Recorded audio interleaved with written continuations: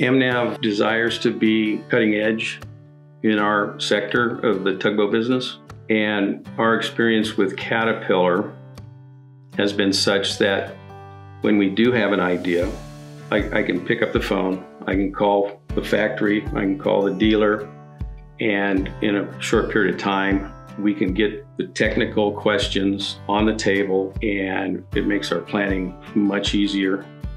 And the fact that we've had a long term experience with them, we, we know that Caterpillar is going to deliver.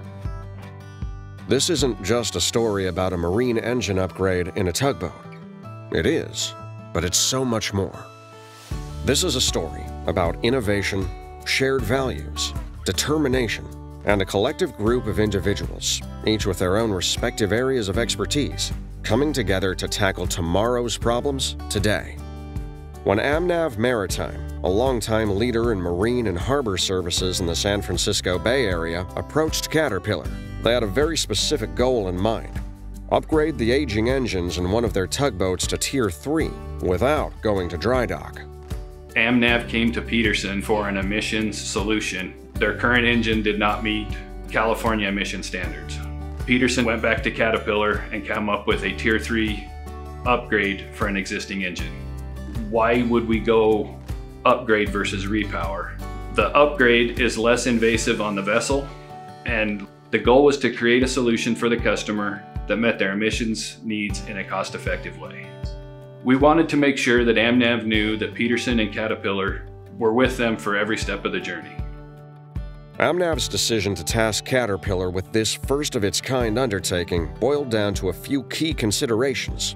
These include environmental impact, economic value, and end to end efficiency.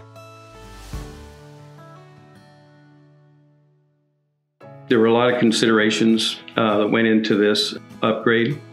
Number one was the emission reduction our company is dedicated to have the lowest carbon footprint that we can.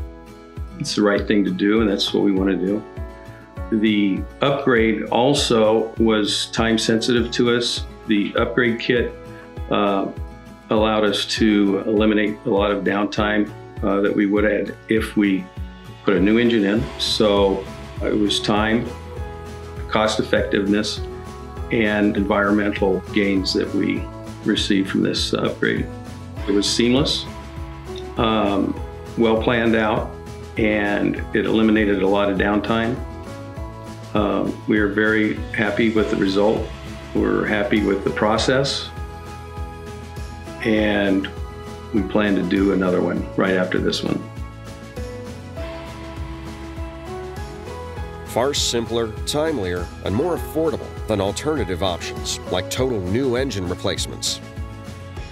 Bringing the first ever Tier 3 engine upgrade to life marks an exciting new chapter for EPA verified kits across the marine industry and the world at large.